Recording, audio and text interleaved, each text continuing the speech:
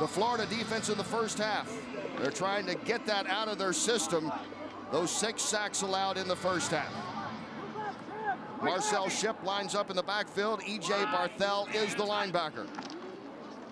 And they'll go on the ground to establish it and right up the middle to Shipp, And he makes a nice run to pick up some good yards. The third leading rusher in the league ripping off 15 before Willie Andrews moves in for the tackle. Boy, don't you like where they're going to attack right off the bat? Take a look at they, they, they go right up the middle. What happens is is the left guard Frank Davis and Boone the center got tangled up, and the hole was still there anyway.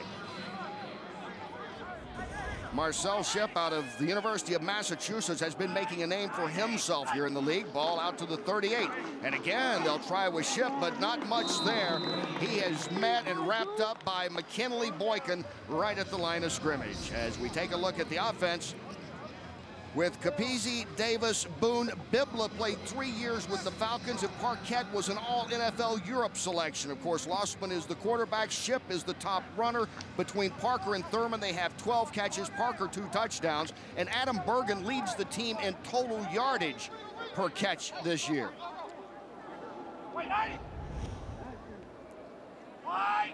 Second and nine.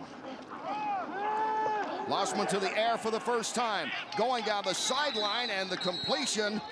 Tiptoeing is David Kircus making the grab. A nope. pickup of 10 and a first down. One of the things that Fassel told us about Losman is, is just be sure of where the guys are going. Read the defense. Take a look to the outside. He looks to the outside. There's Thurman. It's wide open. You know, it, it's almost, when Fassel said is, you know, it's just like pitch and catch. Just relax. Enjoy the game throw the ball.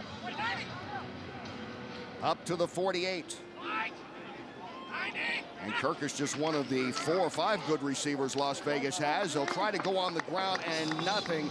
They lose yardage for the first time, and everyone's there to wrap up Shipp, including uh, Rotten getting in and Darian Scott as we set the defense. We talked about Scott just getting in there, rotten.